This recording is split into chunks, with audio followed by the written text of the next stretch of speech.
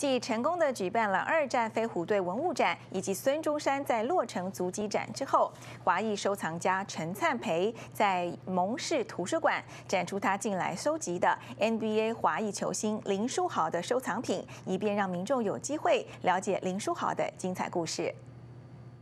此次在蒙氏图书馆举办的展览被命名为“林来疯展”，展出的藏品包括了陈灿培近来收藏的关于林书豪的海报。报纸、杂志等相关内容，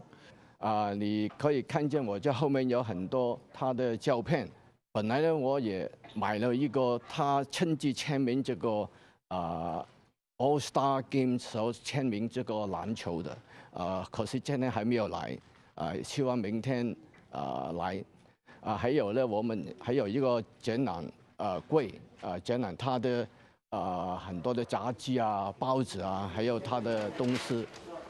民众可以通过此次展览进一步了解林书豪是如何从一名默默无闻的普通篮球队员，最终成长为风靡全美的林来疯的。展览举办者陈灿培表示，他会进一步丰富展品，以便让展览变得更为丰富多彩。乐城十八台记者蒙氏采访报道。